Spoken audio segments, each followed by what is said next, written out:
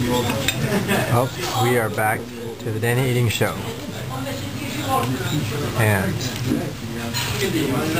where are we? What are we doing, Dana? We're here. And we're eating. And this is um, fettuccine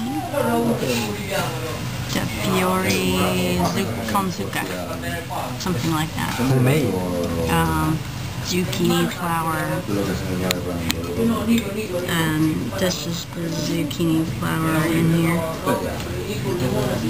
and the cream sauce. And it's so rich and good. Uh, pe- pecorino on top.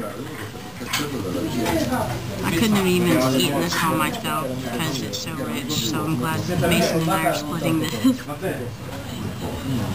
And then, uh, osso buco comes next, so that'll probably be pretty rich too. Good. Where do you have to go to get this? This is our last meal in Rome, walking distance from the Pantheon. Mm. Mm. This is so good. Osso buco, the beef bone with marrow. I haven't eaten that yet. And this is supposed to be a white wine sauce with herbs, but I think it's more than just herbs, like carrots and stuff.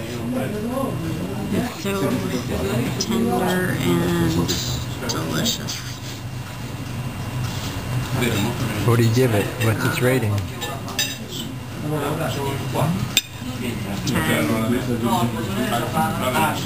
Oh, you going back to the number scale. I'm gonna give this A plus. Dang. Off the Richter scale and Dana scale. It's good. Mm.